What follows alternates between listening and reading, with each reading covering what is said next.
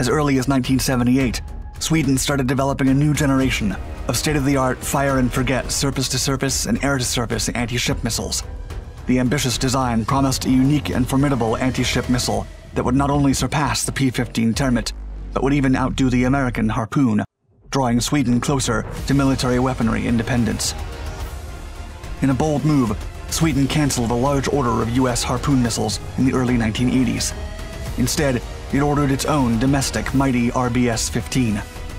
Only time would tell if the ambitious Swedish technology was ready to perform in the big leagues.